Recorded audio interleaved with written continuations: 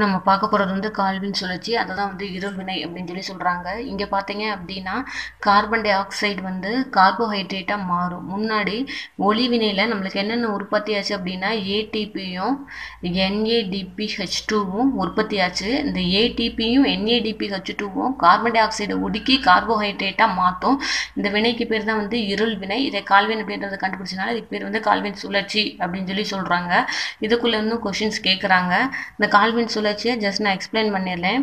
இப்போ பார்த்தீங்க அப்படின்னா ஆர்யூ ஆர்யூபிபி அப்படின்னா என்னென்னா ரிபுலேஸ் ஒன் ஃபைவ் பிஸ்பாஸ்பேட் அப்படின்னு சொல்லி அர்த்தம். ரிபுலேஸ் ஒன் ஃபைவ் பிஸ்பாஸ்பேட் அதாவது தாவரங்கள் எடுக்கக்கூடிய கார்பன் டை ஆக்சைடு முதல்ல ரிபுலேஸ் ஒன் ஃபைவ் பிஸ்பாஸ்பேட் மூலமாக என்னவா மாறுது அப்படின்னா பாஸ்போ கிளிசரிக் அமிலமாக மாறுது பிஜிஏவாக மாறுது.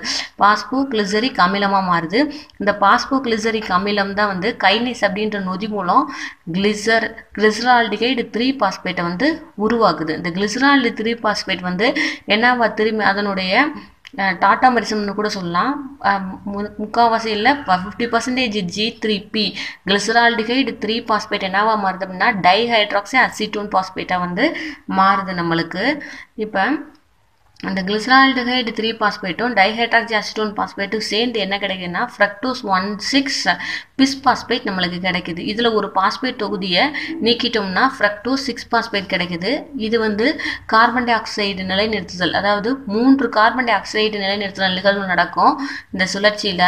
இதில் வந்து இது முதல் நிகழ்வு. முதல் நிகழ்வில் என்ன உருவாகும் அப்படின்னா ஃப்ரக்டோஸ் சிக்ஸ் பாஸ்பேட் உருவாகும். இந்த ப்ராசஸ் தெரிஞ்சுக்கிட்டா போதும். Ribulose one five bis phosphate மொதல் கார்பன் டை ஆக்சைடு முதல் இந்த கார்பன் டை ஆக்சைடு வந்து ரிபுலோஸ் ஒன் ஃபைவ் பெஸ்பாஸ்பேட் மூலமாக எதை உருவாக்கும்னா பிஜிஏ இதுக்கு பேர் வந்து என்ன அப்படின்னா பாஸ்போ கிளிசரிக் அமிலம் ரெண்டு பாஸ்போ கிளிசரிக் அமிலத்தை உருவாக்குது. இந்த பாஸ்போ கிளிசரிக் அமிலம் எதாவது மாறுது அப்படின்னா கிளிசரால்டிகைடு த்ரீ பாஸ்பேட்டாக மாறுது. கிளிசரால்டிகைடு த்ரீ பாஸ்பேட் பாதி எதாவது கன்வெர்ட் ஆகுதுன்னா டைஹைட்ரஜன் அசிட்டோன் பாஸ்பேட்டாக மாறுது. டைஹைட்ராக்சி அசிட்டோன் பாஸ்பேட்டாக மாறுது. ஸோ ஜி த்ரீ பியும் டிஹெச்ஏபியும் சேர்ந்து நம்மளுக்கு என்ன கிடைக்குதுன்னா fructose one six bis phosphate கிடைக்குது இதுலேருந்து ஒரு பாஸ்பேட் தொகுதி வெளியில் போய் அது ஃப்ரக்டோஸ் சிக்ஸ் பாஸ்பேட்டா மாறுது. இதுதான் வந்து முதல் கார்பன் டை ஆக்சைடு நம்மளுக்கு கிடைக்கக்கூடியது.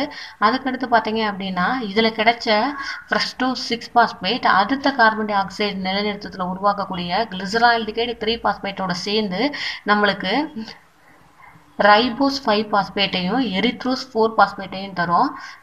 இதில் இருக்கக்கூடிய அந்த ரைபோஸ் ஃபைவ் பாஸ்பேட் என்னவா மாறுது அப்படின்னா ரிபுலேஸ் ஃபைவ் பாஸ்பேட்டாக மாறுது. அதை ஒரு ஏடிபி மூலமாக ரிபுலோஸ் ஒன் ஃபைவ் பிஸ் பாஸ்பேட்டாக மாறுது. ரிபுலோஸ் ஃபைவ் பாஸ்பேட்டாக மாறி ஒரு ஏடிபி மூலமாக ரிபுலோஸ் ஒன் ஃபைவ் பிஸ் பாஸ்பேட்டாக மாறுது. இதை வந்து அதுக்கு அடுத்த கார்பன் டை ஆக்சைடு நிலைநிறுத்தத்தில் பயன்படுத்திக்கிறாங்க.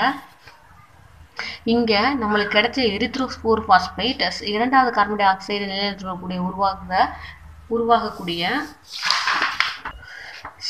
sedoheptulose one seven bisphosphate sedoheptulose one seven bisphosphate மூலமாக ஒன் செவன் பிஸ்பாஸ்பேட் வந்து கிடைக்குது. அதாவது இங்கே உருவாகக்கூடிய erythrose four phosphate dihydroxyacetone phosphate கூட சேர்ந்து சாடலோஸ் ஒன் செவன் பிஸ்பாஸ்பேட் கிடைக்குது. இதிலிருந்து ஒரு பாஸ்பேட் நொதி போய்கிட்டு எஸ் செவன் பி நம்மளுக்கு கிடைக்குது. இந்த சாண்டோ sedoheptulose sedoheptulose seven phosphate வந்து மூணாவது கார்பன் நிலைநிறுத்தல் உருவாகக்கூடிய ஜி த்ரீ பி கூட இணைஞ்சு நம்மளுக்கு என்ன கிடைக்குது அப்படின்னா ரைபோஸ் ஃபைவ் பாஸ்பேட்டும் சைல்லோஸ் ஃபைவ் பாஸ்பேட்டும் கிடைக்குது. ரைபோஸ் ஃபைவ் பாஸ்பேட்டும் சைல்லோஸ் ட்ரை பாஸ்பேட்டும் கிடைக்குது.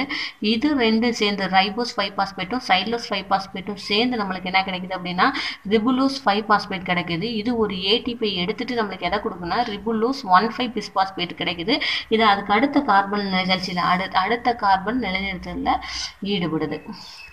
இப்போ இந்த சுழற்சியில் நம்மளுக்கு மிஞ்சுறது என்ன அப்படின்னா டைஹைட்ராக்சி அசிட்டோன் பாஸ்பேட் தான் மிஞ்சும். இந்த டைஹைட்ராக்சி அசிட்டோன் பாஸ்பேட் ஒவ்வொரு நிலைநிலத்திலையும் மிஞ்சக்கூடிய டைஹைட்ராக்சி அசிட்டோன் பாஸ்பேட் ஒன்று சேர்ந்து சுக்ரோஸ் ஆகவோ குளுக்கோஸ் ஆகவோ ஸ்டார்ச் ஆகவோ மாறி கிடைக்கும். இந்த இறுதி நிகழ்வுகளில் மூன்றாம் கார்பன் டை ஆக்சைடு நிலைநிறுத்த நிகழ்வு தான் நம்மளுக்கு தேவையான கார்போஹைட்ரேட் வந்து உருவாகும். இதுதான் வந்து கால்வின் சுழற்சி. இது அதாவது முன்னாடி வந்து எப்படி நம்பிட்டு இருந்தாங்கன்னா கால்வின் சுழற்சி மூலமாக மட்டும்தான் வந்து மூலக்கூறுகள் வந்து கார்போஹைட்ரேட்டை உற்பத்தி செய்யுது அப்படின்னு சொல்லி நினச்சிக்கிட்டு இருந்தாங்க. அதுக்கப்புறம் வரும்பொழுது சில பேர் வந்து சி த்ரீ சுழற்சி சி ஃபோர் சுழற்சி சி டூ சுழற்சி எல்லாம் வந்து கண்டுபிடிக்க ஆரம்பிச்சாங்க. இதில் அவங்க நம்மளுக்கு ரொம்ப முக்கியம் என்ன அப்படின்னா முதல் சுழற்சியில் என்ன உருவாகுது அப்படின்னா முதல் சுழற்சியில் ரெண்டு உருவாகுது. ஒன்று வந்து ribose five phosphate erythrose five phosphate ரெண்டாவது சுழற்சியில் என்ன உருவாகுது அப்படின்னா S one seven bis phosphate இல்லைன்னா எஸ் செவன் பாஸ்பேட் உருவாகுது. மூணாவது சுழற்சியில் தான் நம்மளுக்கு குளுக்கோஸ் உருவாகுது அப்படின்றது தெரியணும். ஒவ்வொரு சுழற்சியில் இன்னொரு முக்கியமான விஷயம் என்னன்னா ஒவ்வொரு கார்பன் டை ஆக்சைடு மூணு தடவை இங்கே கார்பன் டை ஆக்சைடு நிலைநிறுத்தல் நகர்ந்துருக்கு. ஒவ்வொரு கார்பன் டை ஆக்சைடு நிலைநிறுத்தலையும் நம்மளுக்கு மூணு ஏடிபியும் ரெண்டு என்ஏடிபிஹெச் டூவும் செலவாகுது. ஒவ்வொரு கார்பன் டை ஆக்சைடு நிலைநிறுத்தலையும் மூணு ஏடிபியும் ரெண்டு என்ஏடிபிஹெச் டூவும் நம்மளுக்கு செலவாகுது அப்படின்றது தெரியணும். ஓகே தொடர்ந்து பார்த்துட்டே இருங்க. தேங்க்யூ